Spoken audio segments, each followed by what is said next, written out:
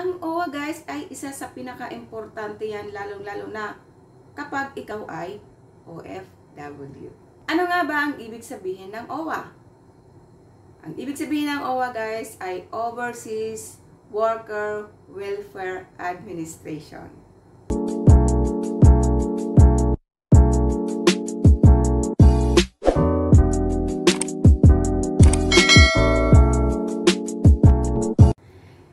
Everybody! Welcome back sa aking YouTube channel. This is Sabi Shai po. Ayan guys, sa mga hindi pa po nakakapag-subscribe naman sa aking channel, please subscribe my YouTube channel, Sabi Shai po. At pakiclick po ha ang subscribe button.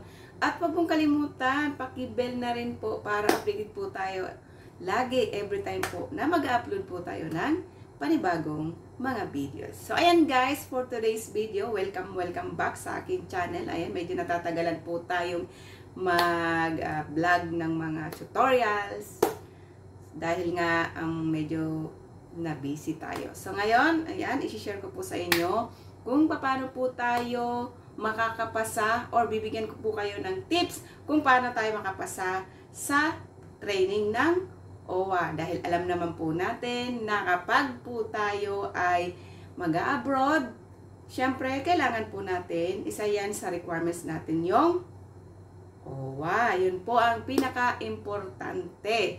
So guys, paano nga ba tayo makakapasa ng OWA at kung ano nga ba ang mga itinuturo dito.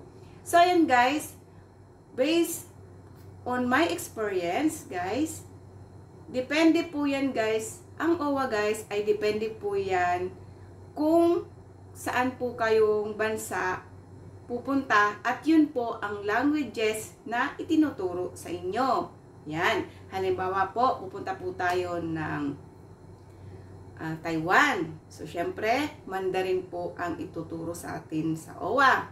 And pag pupunta naman po tayo ng Hong Kong, syempre, Cantonese naman po. At kung pupunta naman po tayo sa Middle East, syempre naman, ang ituturo naman po ng OWA sa atin ay yung mga salita ng mga Arabic. Ang OWA guys, kailangan po natin umattend ng 3 days po ang OWA guys. Yun, 3 days po tayong mag-aaral ng mga languages na kailangan natin sa bansang pupuntahan natin. Siyempre, guys, kailangan din natin na ipasa ito para mabigyan tayo ng certificate. Hindi biro-biro ito ha. Kaya guys, kapag kayo ay mag-OWA na, kailangan uh, intindihin muna natin or intindihin natin yung mga itinuturo ng instructor sa atin dahil syempre pagkatapos niyan, bibigyan tayo ng exam nito. At kung hindi po tayo nakapasa sa exam na pinigay nila, meron pa po tayong uh, second chance para ipasa ito at pag-aralan po natin. O di ba? Hindi basta-basta ang OWA guys kasi naman syempre kahit papano uh, kahit uh, kahit papano kahit may konti tayong kaalaman sa ating pupuntahan, hindi naman kailangan natin lahat 'yan pag-aralan natin. Konti lang, mga basics lang natin. Basics basic need lang natin ang kailangan natin na pag-aralan. So, ayan guys. Siyempre, halimbawa guys. Yan, bibigyan ko po kayo ng halimbawa. Pupunta po tayo sa Taiwan o kaya sa mga Chinese, Mandarin, mga ganyan. Pupunta po tayo dyan. Siyempre, pag-aaralan po natin ay ang Mandarin. Siyempre, kailangan po natin pag-aralan yung kahit 1 to 10 man lang ay kaya natin uh, i-memorize kasi syempre magbibilang tayo or pupunta tayo na may bibilin tayo, di ba? Kahit konti lang yung ano ba yung Mandarin ng uh, 1 2 3 4 yung E R Sansu sa Hong Kong naman Yat Ji Sam Say Um Luk Chat Pa Kao mga ganyan. Tapos sa Arabic naman, yun hindi ko hindi ko alam ang Arabic, alam ko lang sa Arabic yung uh, salitang mapipulos, yung mga ganun lang, alam ko yan. So, kailangan alam natin yan guys ha. Siyempre pati pag-aralan din po natin at tandaan natin yung mga good morning, Diyosan, yung mga ganyan. Meron din akong alam sa Korea, kunting, kunting konti lang. Siguro, ano nga ba yung alam ko sa Korea, yung salita, yung uh, anya sa'yo, tapos, um, pa ba yun?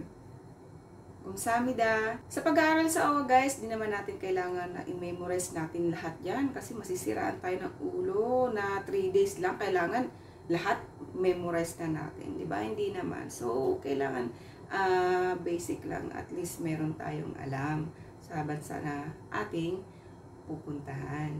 Yun. Basic lang. Kailangan natin yan na meron tayong uh, baon. Kumbaga, meron tayong baon kahit konti. Iba na yung, ang sabi nga nila, iba na yung uh, may alam kaysa sa walang alam. O, ba guys? So, ayan guys.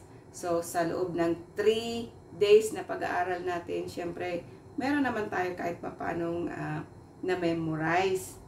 Yan, di ba? Sa mga basic lang, mga ganyan. Kasi, uh, pagkatapos ng, uh, pag 3 days na po kayo, yung exam na po talaga sa OWA yan. So, bago kayo bigyan ng certificate, kaya hindi basta-basta yung OWA. Tsaka, yung OWA naman eh, kung may problema tayo, o, hindi naman sa pag-ano, yun din ang tutulong po sa atin. Yan.